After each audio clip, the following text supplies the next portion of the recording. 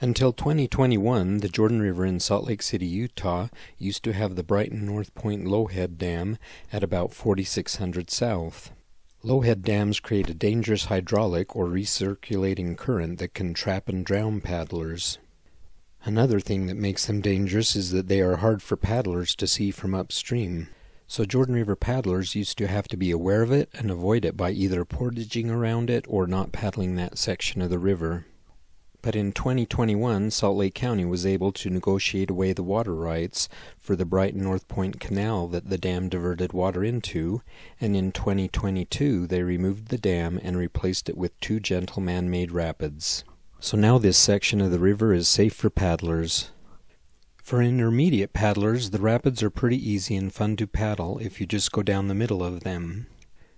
But Salt Lake County is also building portage takeout and put in ramps around the rapids for paddlers who don't want to go down them.